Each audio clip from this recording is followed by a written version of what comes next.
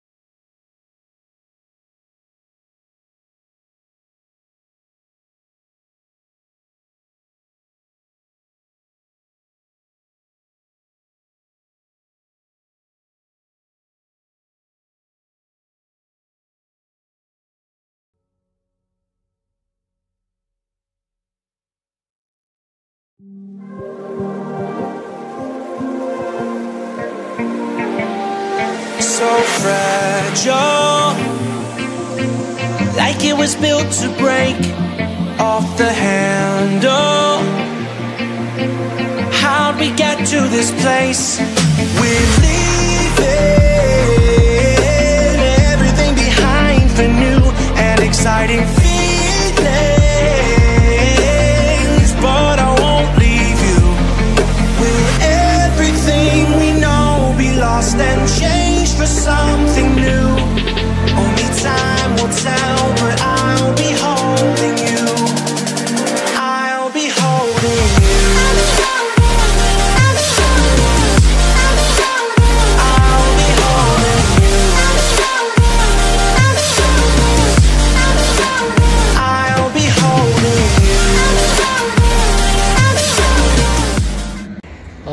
günaydın Aksaray'dan herkese günaydın. Ya havalar çok güzel olmaya başladı. Buz gibiydi geçen hafta Ankara Ankara. Şimdi gayet serin oldu. Evet görüyorsunuz. Şöyle şu tarafa doğru bir geçeyim. Bir sürü tur arabası. Hepsi Kapadokya'ya gidiyor. Hepsi hemen hemen aynı saatte yanaşıyor buraya sabah. 6 ila 7.30 arası bütün tur arabaları gelir kahvaltılarını yaparlar. Buradan direkt Ihlara Vadisi'ne giderler. Hepsinin ilk durağı Ihlara Vadisi'dir.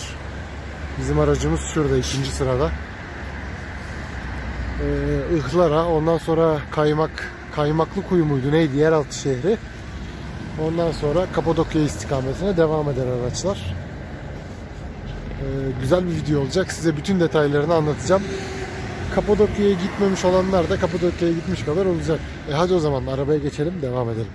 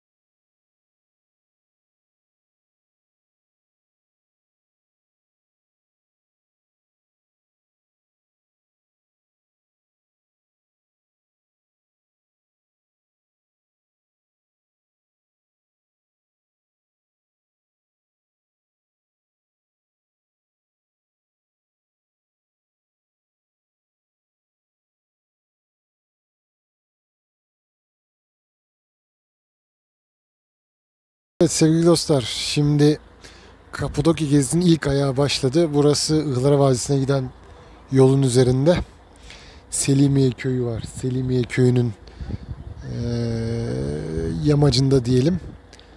Şu gördüğünüz dağ ve bunun diğer arka tarafı. İşte bakın dostlarımız da geldi. Evet neyse bunun arka tarafında ve burada böyle mağaralar var. Burada yaşam olmuş zamanında. Bu mağaraları ev olarak kullanmışlar. Şimdi içeriye gireceğiz. Birazcık gezeceğiz. Size buralara gezdireceğim. Araçlara dikkat edin. Araba geliyor. Burası biraz tehlikeli. O yüzden insanları da uyarmak gerekiyor. Hadi gidelim şimdi içeriye. Evet yani bayağı ilginç yapılar. Baksanıza arkadaşlar.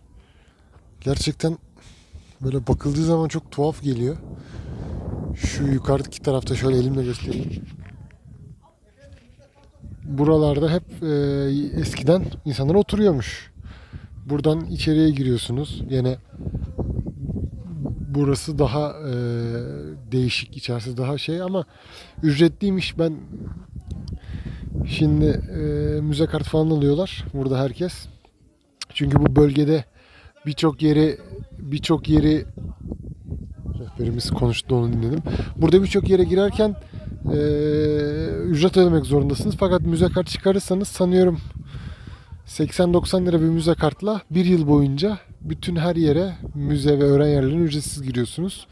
E, burada müze kart çıkartmazsanız e, 130-140 liraya mal oluyor tur boyunca. Müze kart çıkartmak daha iyi. Burası böyle.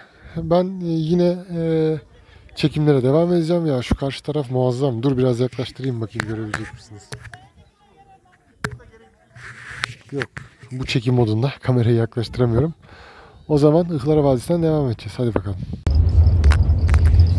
Sevgili arkadaşlar, herkese merhaba.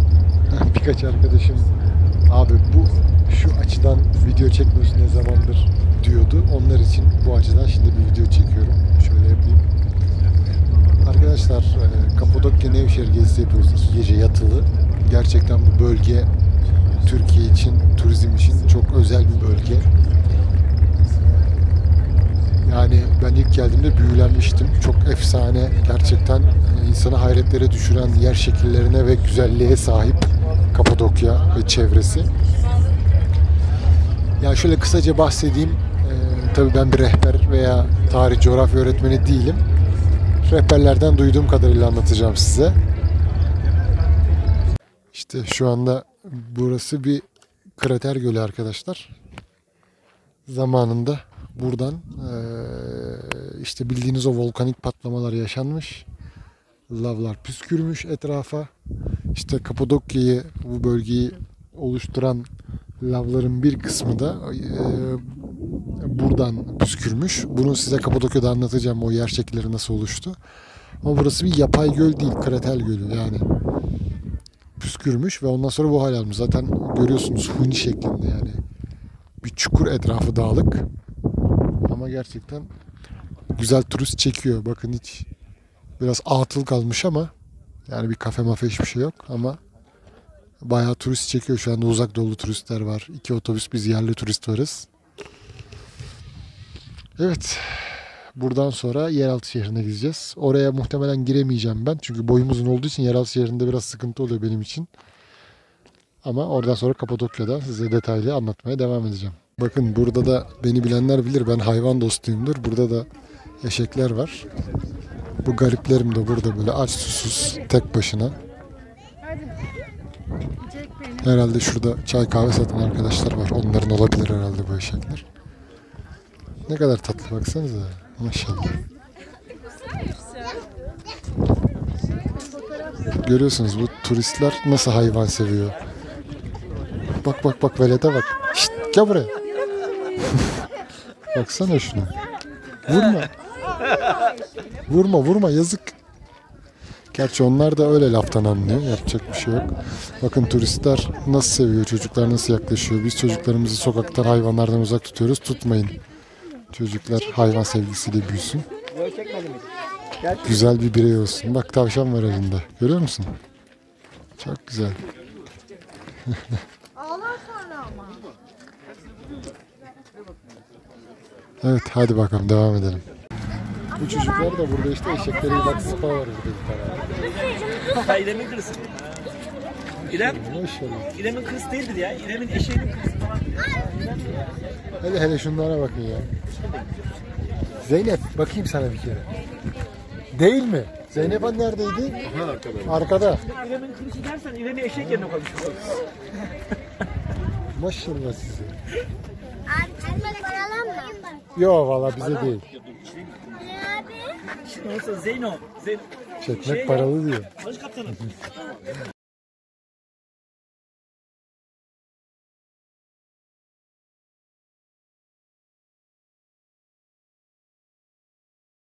Şimdi arkadaşlar Kaymakkuyu Yeraltı Şehri diye bir yer var. Oraya geldik.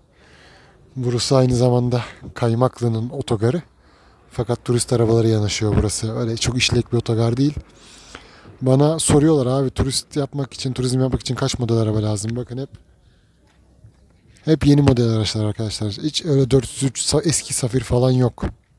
Yani dolayısıyla turizm yapmak istiyorsanız yeni model arabalar almanız gerekiyor. Yani bir 403 alıp bir eski safir alıp maalesef bu tür e, turlar yapamazsınız. Yani GAP turuydu, Karadeniz turuydu, Kapadokya turuydu. Ha belki yaparsınız ama senede 3 defa 5 defa yaparsınız. Sürekli yapamazsınız çünkü modeli kurtarmaz arabanın. İşte görüyorsunuz bakın. Özellikle şu şuradaki 3 arabada modelle en az 2012-2013 model olduğunu tahmin ediyorum. Ee, ya da arabanız 2008-2009 modelse işte Travego veya Turismo'ysa veya başka bir modelse arabanızın tabiri caizse ok gibi olması lazım. Döşemeleri, dışı mışı, görüntüsü güzel olması lazım.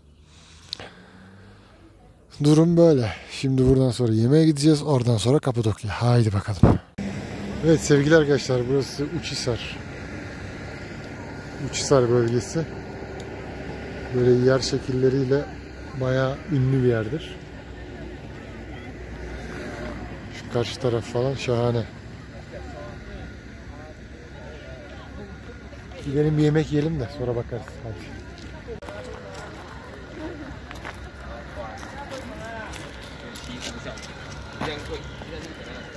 Tabii burası yazın burada adım atamazsın. Turist dolu. Şimdi 2-3 tane otobüs var. Fazla bir şey yok. Şurada şu bulunduğumuz yerin altındaymış restoran. Bir inelim bakalım ne olacak.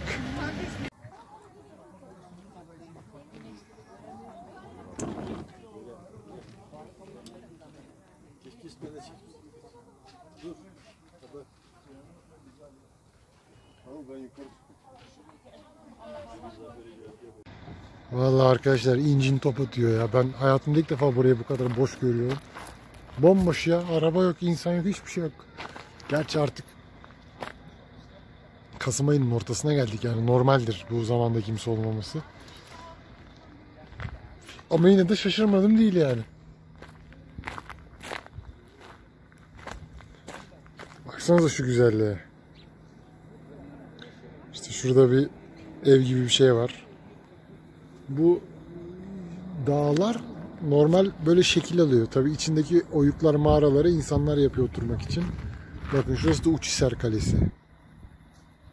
Şöyle göstermeye çalışayım. Burası Uçhisar Kalesi. Gece çok güzel olur. Gerdanlık gibi. Mardin'i bilenler varsa biraz Mardin'e benzer gece. Evet abla da poz veriyor. Ben de poz verdim az önce. Ben de çekildim orada. E tabi yani buraya gelip bol bol fotoğraf çekiyoruz. Yapacak başka bir şey yok. Şimdi Gökmen abicim arabada. Biz de hemen şuradan şöyle gideceğiz. Şurada bir taşçı var. Taşçıya girecekler. Oradan sonra tekrar çıkacağız. Hemen 100 metre ileride çerezci var. Kapadokya bölgesinde özellikle kavrulmuş kabak çekirdeği, sütle kavrulmuş kabak çekirdeği çok meşhurdur. Benim pek hoşuma gitmedi ki kabak çekirdeği çok severim. Ama sütle kavrulmuş kabak hoşuma gitmedi. Ama insanlar çok rağbet ediyor. Orada görüşürüz bakalım.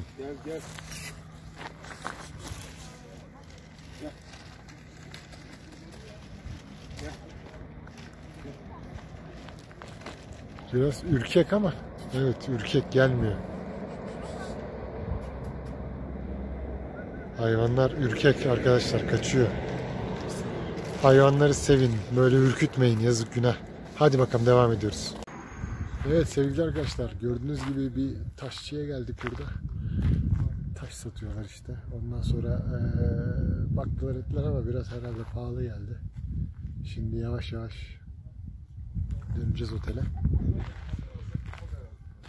Burası böyle taşçıya gelirsiniz, çerezciye gidersiniz, dericiye gidersiniz. İşte eee, alışveriş olursa kaptan da pay alır, rehberler de pay alır. Ufak da olsa. Atıyorum 1000 liralık alışveriş oldu. Rehber 100 lira alır, kaptanlar 50 lira alır gibi. O yüzden böyle geziyoruz bakalım. Şimdi yavaş yavaş çıkıyorlar. Devam edeceğiz. Bakın arkadaşlar. Şu gördüğünüz şurası evmiş. Kaçak oturuyorlarmış. Şimdi boşaltmışlar orayı. Belediye artık müsaade etmiyormuş oturulmaya ama insanlar oturuyormuş orada yani. Bildiğiniz ev. Balkonu balkonu var. Çok ilginç değil mi? Şuradan manzaraya baksanıza. Şahane.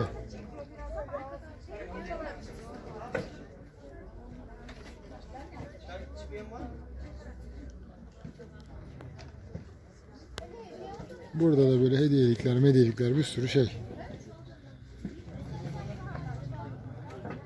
Şimdi arkadaşlar yarım kaldı demin. Bu peribacalarını anlatıyordum nasıl oluştuğunu.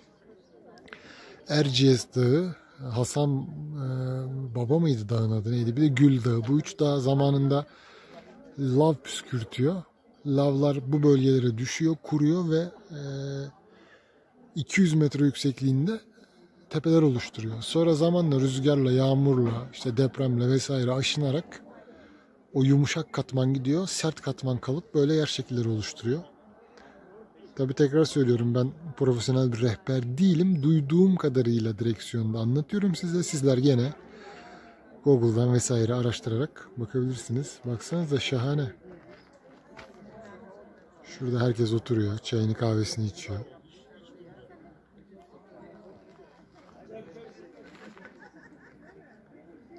Gerçekten şahane. Kalenin tepesine bakın.